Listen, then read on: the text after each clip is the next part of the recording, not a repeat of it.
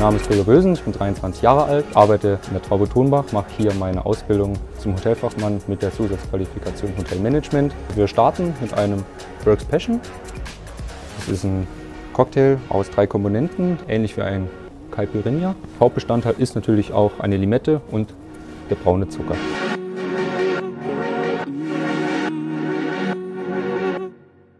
Dazu fügen wir aber noch eine Saftkomponente dazu in Form von Maracuja, Maracuja-Saft und Maracuja-Nektar.